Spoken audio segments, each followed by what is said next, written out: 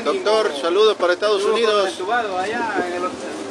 Estuvimos sin luz, con pacientes intubados recién nacidos. Siete niños intubados. Las enfermeras, después de tres días, les llegó el gobierno federal a ofrecerles un bono, a ofrecerles un reconocimiento. ¿Y saben qué dijeron? No podemos salir dejar a estos niños morir. Pero queremos ver a nuestros hijos. Y nosotros, nada más, nosotros cuatro, estamos aquí. Nos tenemos que ir. Y por más que le rogaron, solo una dijo, mi esposo ya vino.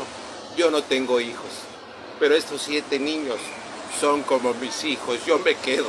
Y las demás siguieron el ejemplo. Se quedaron a cuidar a los niños a pesar sin luz.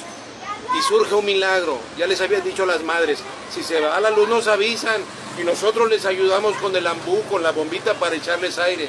Y desde lo que es miércoles, cuatro y media de la mañana, que tronó la planta, que funcionaba con diésel, sin comida, sin agua, hasta hoy, están dándole con las perillas. ¿Y qué creen? Llegó el gobierno después del jueves, miércoles, jueves y viernes, con helicópteros, con camionetas, eh, ambulancias, camionetas de militares, y empezaron a, a iluminar pero los helicópteros empezaron a evacuar a los niños, ya están en otros hospitales. Qué bueno. Llegó la luz, pero 74 pacientes se salvaron, murieron más de 20, 30 pacientes. No había médicos, yo fui el único. Desde el miércoles, jueves, viernes, sábado, ya no aguanté, me vine a dormir una hora. Manden ayuda a Acapulco.